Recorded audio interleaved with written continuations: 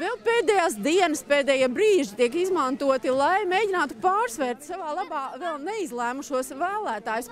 Un Somijam ziema ar mīnus 12 grādiem nav nekāds šķērslis, lai pasākumi varētu notikt. Tepat uz ielas kā šeit, piemēram, kur kampaņo prezidenta amata kandidāts Aleksandrs Stups. Viņš visvairāk balsu savāca vēlēšanu pirmajā kārtā, un arī tagad Stups ir līderos. Yksi, kaksi, kolme, He's very experienced uh, as a Viņš ir ļoti pieredzējis gan nacionālos, gan starptautiskos jautājumos. Viņam ir pieredze piemēram Krievijas jautājumos, Amerikas Savienoto Valstu jautājumos, Eiropas Savienības jautājumos, visās šajās lietās.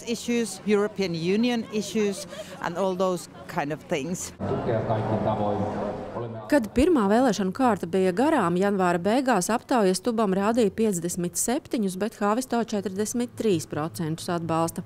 Taču februāra pirmajā nedēļā Stubam 54, Hāvisto jau 46. Un, lai gan Stups ar vienu ir priekšā, tomēr Hāvisto atbalsts ir pieaudzis. Un jo tuvāk vēlēšanas, jo Hāvisto ar vien vairāk vēlētājiem sācis iepatikties. Spriež, ka arī televīzijas debatas viņam var būt nākušas par labu.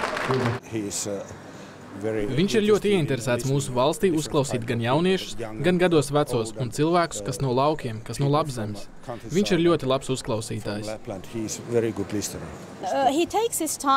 Viņš ir tāds, kurš izmanto laiku, lai uzklausītu visas puses un tad nonāk pie secinājuma. Un viņš ir bijis arī miera sarunu vedējs. Tā ir lieliska pieredze prezidentam. Spriežot pēc aptaujas, stubu vairāk atbalsta piemēram vīrieši, cilvēki vadošos amatos, pensionāri. Par Hāvisto vairākas liecas balsot sievietes, strādnieki un studenti. Somijas prezidenta galvenajā darbības laukā ārpolitikā abi tiek uzskatīti par ļoti zinošiem. Helsinku universitātes veiktā aptaujā vēlētāji norādījuši, ka vissvarīgākie faktori izvēloties prezidentu ir efektīva vadība un uzticamība. Aptaujas dalībnieki pauduši, ka abi ir kompetenti un zinoši vadītāji, taču Hāvisto ir atzīts par uzticamāku un empātiskāku.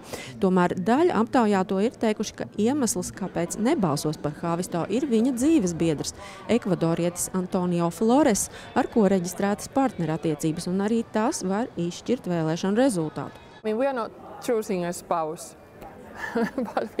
Ne jau par dzīvesbiedriem ejam vēlēt. Mums ir jāizvēlas prezidents, bet daudziem dzīvesbiedru jautājums šķiet vissvarīgākais. Visgrūtāk paredzamā lieta šajās vēlēšanās iespējams ir, vai Hāvisto patiešām iegūtu reģionu balsis. Un, ja arī Somi to darītu, vai šķiet tie būtu tikuši vaļā no homofobijas, kas tiem šķiet joprojām piemīt. Mēs īsā sarunā jautājām abiem kandidātiem par to, kas viņu prāt vairāk būtu darāms attiecībās ar Latviju un Baltijas valstīm, un abi pieminēja Krievijas aspektu un aizsardzības jomu. Domāju, ka mums ir daudz vairāk jādara plānošanā, un tas ir tas, ko mēs darīsim NATO iekšienē. Un it īpaši tiekoties NATO samitā Vašingtonā jūlijā, spriedīsim par NATO organizāciju, tās aizsardzību un to, kā tā tiks vadīta, un kādas ir mūsu katra atšķirīgās lomas.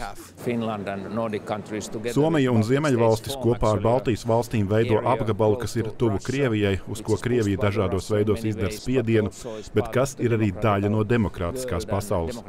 Īpaši esmu laimīgs, ka man bija ciešas attiecības ar Latvijas prezidentu Edgars Rinkeviču, kurš bija mans kolēģis, kad bija ārlietu ministrs. Manuprāt, Latvijas politika ir bijusi ļoti gudra, un mēs ik pa laikam ar Rinkeviču kungu arī pārbaudam un salīdzinām mūsu politikas. Un domāju, ka politiskā līmenī tas ir ļoti svarīgi, ka Somijai un Latvijai ir vienādas intereses.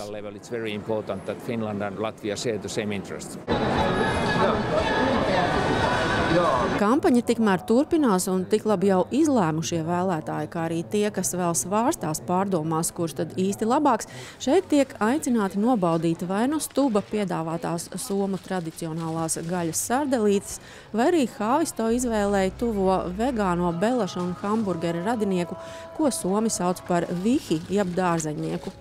Odita Krenberga, Jānis Goldbergs, Latvijas televīzija no Helsinkiem, Somijā.